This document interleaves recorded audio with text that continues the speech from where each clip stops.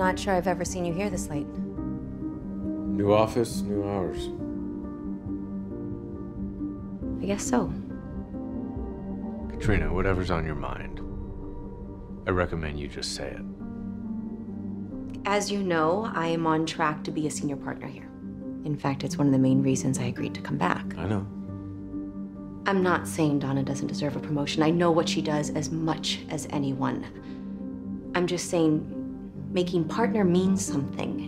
And I'm concerned that being one here won't mean what it used to. What would you have me do? I don't know. I just thought if I was thinking it, it occurred to me that others might be too, and I thought you should know that.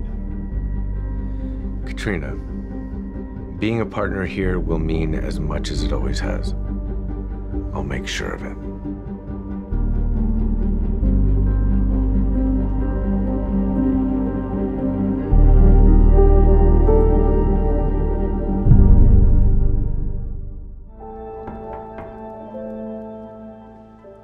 You've never knocked before. You've never had a door before. I know, and it's a good thing I do because. You can't be a partner, Donna. What? You can't do that. I have to. I made a mistake. Bullshit. I.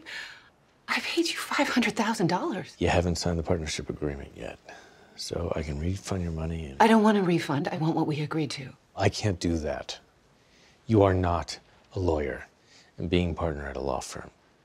It means something. Inside the firm and out, which is why I wrote up a new release for you.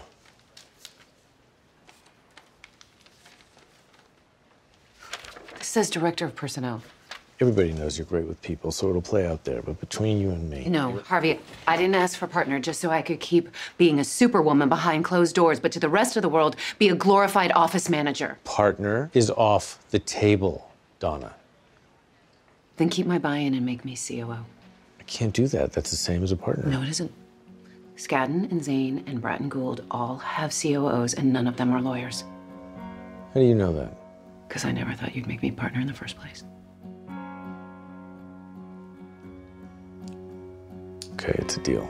And I keep my vote. Donna. Within these walls, I have a seat at the table. Take it or leave it.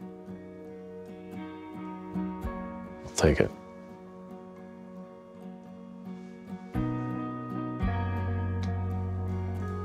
Thanks, Harvey. You're gonna make a hell of a COO.